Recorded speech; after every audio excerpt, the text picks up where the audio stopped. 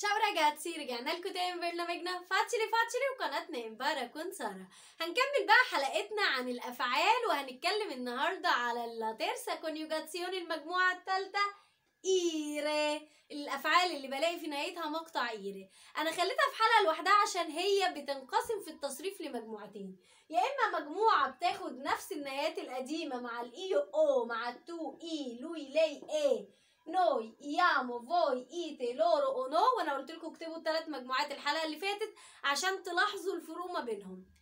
أو بتاخد isc وبكتب كلمة isc قدام النهايات دي. فبقول مع ال io isco مع ال tu isci وخلي بالكم النطق اتغير لكن الكتابة i s c con la o con la i. تمام؟ مع ال lui lei isce noi iamo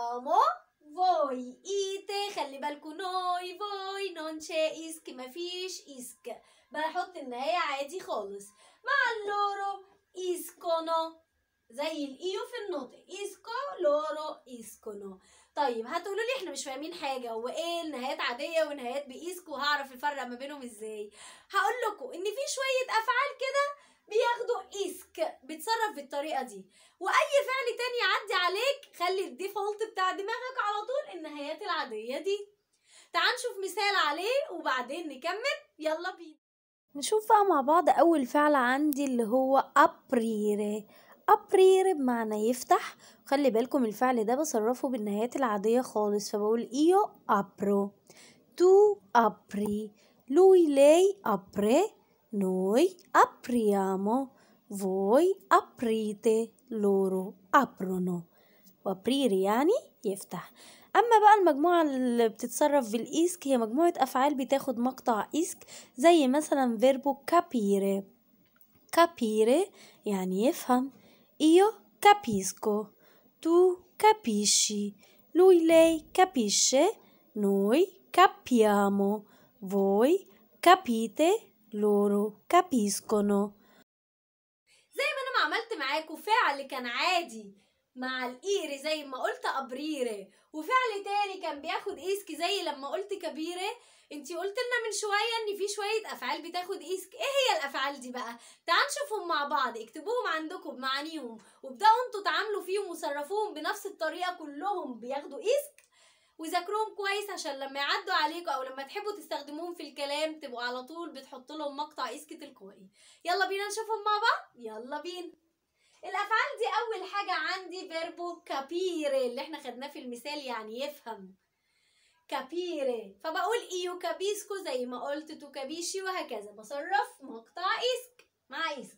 بعد كده عندي preferire preferire يفضل. لما بحب حاجة أكتر من التانية بستخدم verbo preferire رقم ثلاثة punire punire يعني يعاقب. il punisce gli studenti بيعاقب الطلاب quando non fanno i compiti لما مش بيعملوا الواجبات عندي بعد كده pulire pulire بمعنى ينظف pulire وعندي كمان costruire يعني يبني costruire unire unire يعني يجمع أو يوحد unire chiarire chiarire chiarire يوضح come io io chiarisco la lezione a voi بوضح الدرس ليكم بعد كده spedire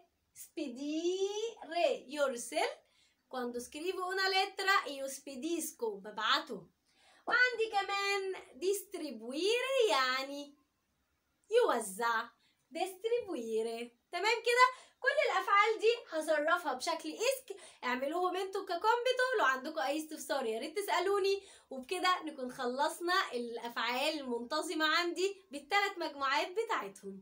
انتظرونا في حلقة جديدة عشان نشوف مع بعض الأفعال. غير المنتظمة بنعمل فيها إيه؟ أشوفكم على خير وما تنسوش لو أول مرة تشوف الفيديو ها اشترك في القناة فعل الجرس عشان يوصلك كل جديد. وشير كتير لكل أصحابكم. وأشوفكم على خير الحلقة الجاية. تشاو تشاو!